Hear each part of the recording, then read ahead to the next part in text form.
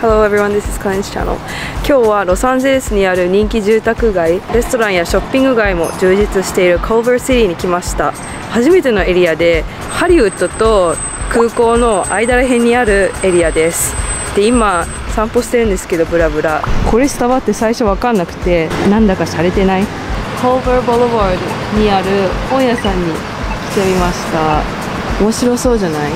ここの交差点の絵まで飾られています。全体的におしゃれ街って感じで絵とか床にもいろいろ書いてあったり素敵なカフェや雑貨屋さんが多いです。ハリウッドとかダウンタウンと比べると割と静かでのんびりできますね。こちらの本屋さんメニューついてよく見るとカフェっぽいです。おお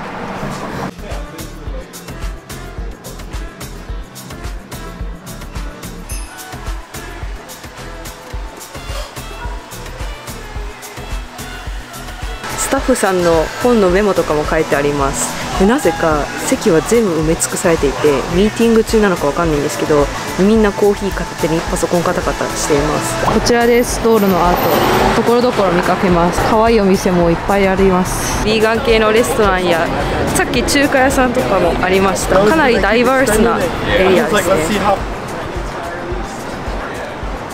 お目当てのマーケットへ来ました。中はカフェとお目当てのお店が奥にあります。ビャンビャン麺を食べに来ました。シンガポールでビャンビャン麺食べてここでも食べたいなと思って探してたらカルバーシティにあったのでこの麺のためにわざわざ来ました。シンガポールとほぼ変わらない食生活という。こちら目の前に今ビャンビャンビャンビャン伸ばしています。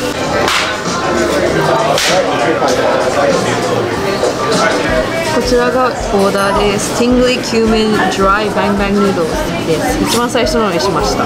では混ぜてみます。お肉とマッシュルームは追加料金で頼めるんですけど、頼まなかったのでベジタブル系ばかりですね。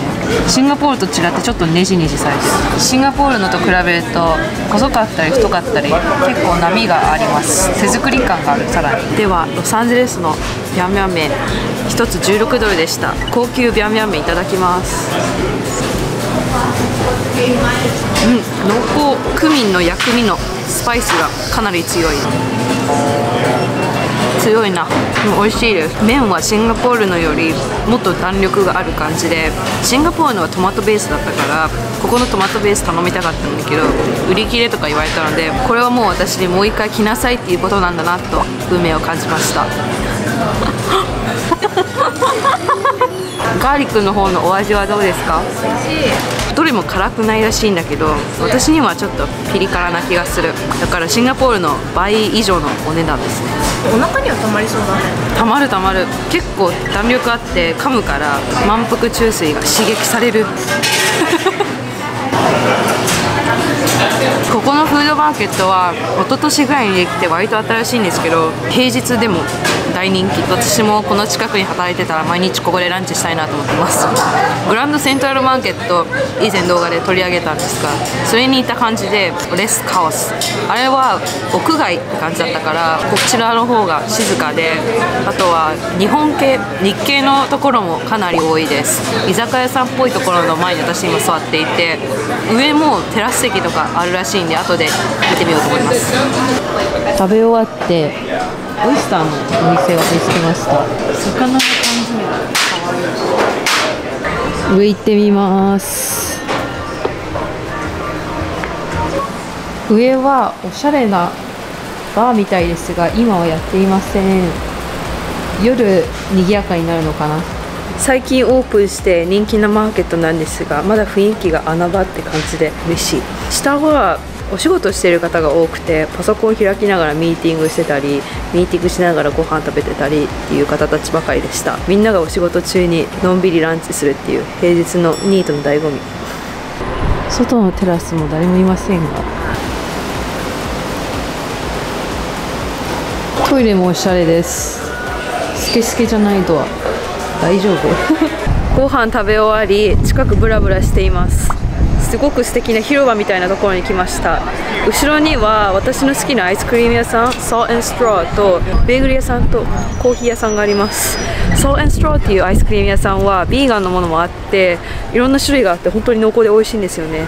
オーチャードの階段のあれを思い出させるステップと素敵な広場があります。これはちなみに映画館らしいです。カルバーシティって治安もいいしあちこちおしゃれだし映画のスタジオもあってそういえばソニーのスタジオもあるんだよね。アニメーションスタジオ。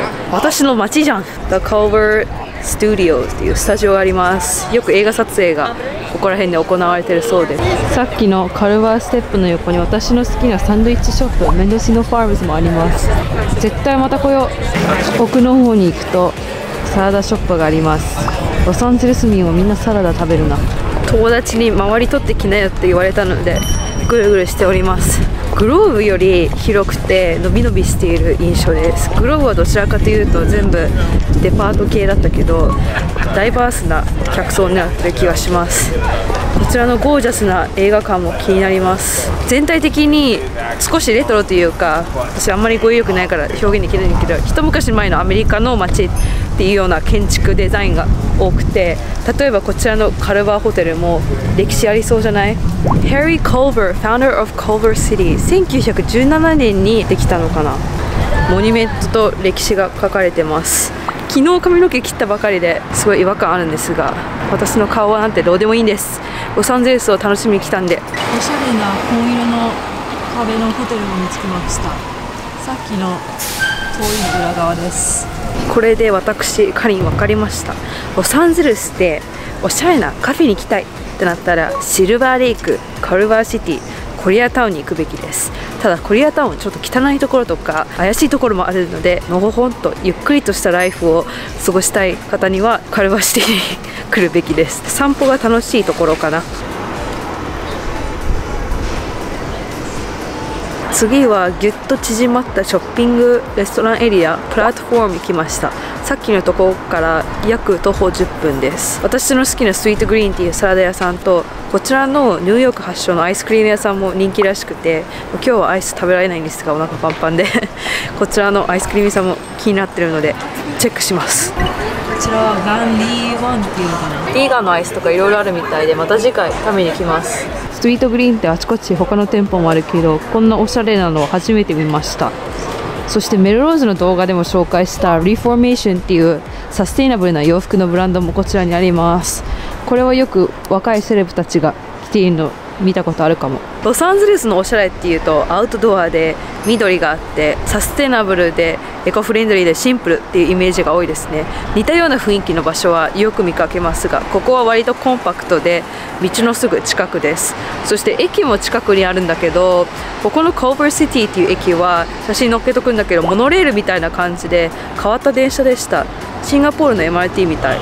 この辺は全部飲食店かな。あこれはエーソップっていう人気の石鹸屋さんです。こちらはブルーボトルとても上質なコーヒーが有名です。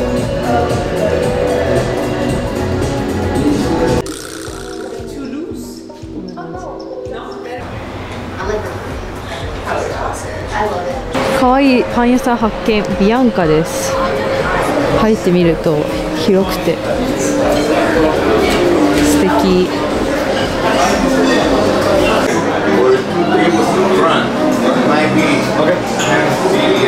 カルバーシティってショッピングのメジャーなところではないから初めて来たんだけどもっと早く来ればよかったって思うぐらい可愛いものがたくさんあってリラックスできる環境も揃ってます。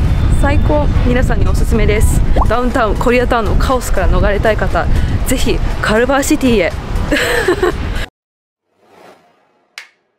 以上でビャンビャン麺を食べにカルバーシティに来てみたら意外とおしゃれでいろいろ楽しめたという一日でした。友達がいろいろ詳しくて教えていただいたので楽しく回ることができました。最後までご視聴ありがとうございます。ではまた次回のロサンゼルス冒険までお楽しみに。ではまた。バイバイ。